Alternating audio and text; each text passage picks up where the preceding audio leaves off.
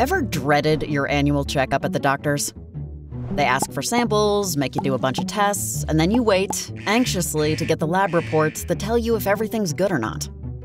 These reports rely on biomarkers, which are different medical parameters that can be measured, and tracking them can help improve your metabolism.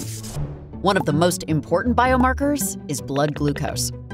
Your body creates glucose by breaking down carbohydrates. And as glucose travels through your bloodstream, it's called blood glucose or blood sugar. Insulin is the hormone that regulates this glucose and helps convert it to energy. A normal blood sugar level is less than 140 milligrams per deciliter. And anything higher can indicate that your body isn't making enough insulin.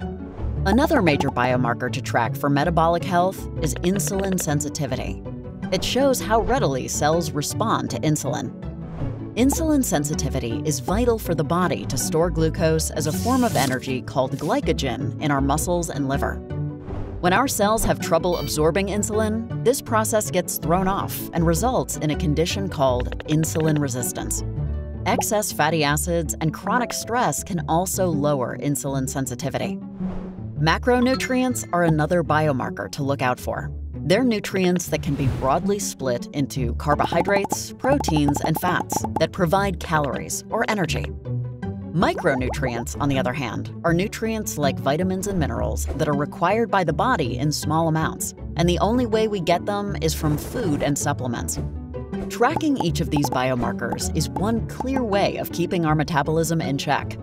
But simply tracking them is not enough. You need to know how to improve them too. Regular exercise is key. A balanced workout with resistance training, cardio, and yoga would be ideal for metabolic health.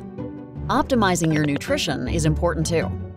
High protein diets without sufficient fats and carbs don't do the job. Similarly, a high carb, low protein, low fat diet isn't effective either. What does work is a mix of micro and macronutrients. Just as important is sleep.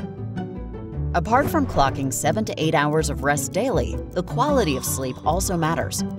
A simple hack is to avoid screens before bedtime. It's just that simple. Basic lifestyle tweaks go a long way in enhancing your metabolism. And remember, tracking biomarkers a day keeps the doctor away.